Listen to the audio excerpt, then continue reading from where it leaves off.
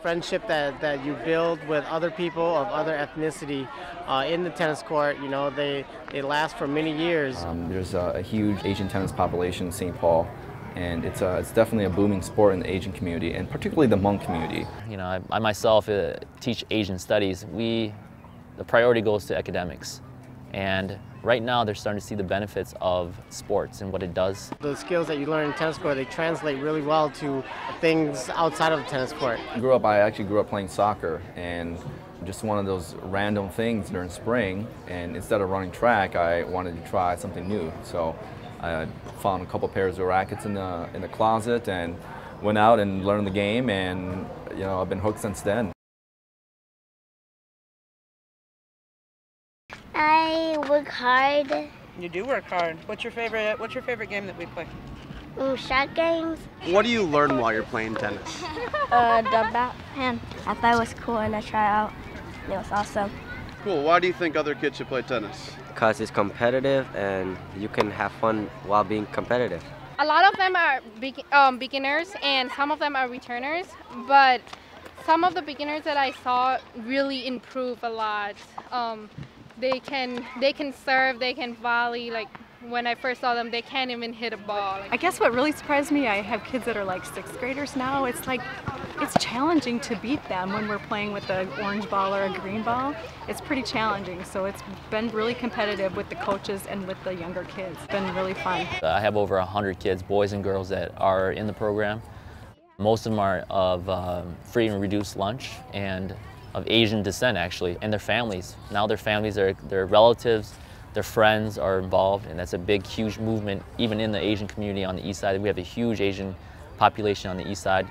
You know, their relatives, their kids, their cousins, their little brothers and sisters are part of it. So it's a, it's definitely a family deal, and it's a, it's a community deal right now. Yeah, I just like how it's like just open to anyone.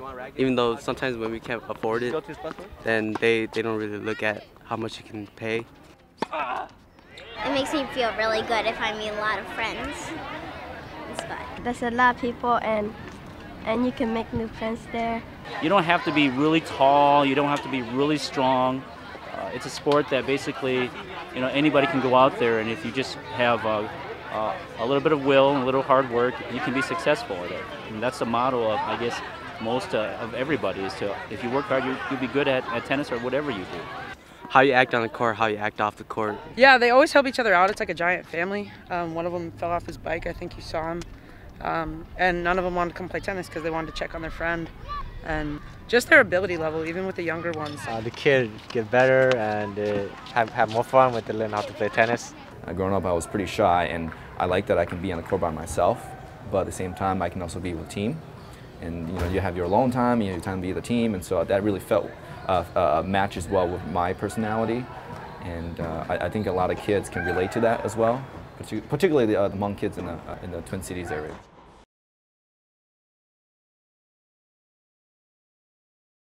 You know, before the two communities were kind of separate. It's almost a 50-50 of Karen students and Karenni students.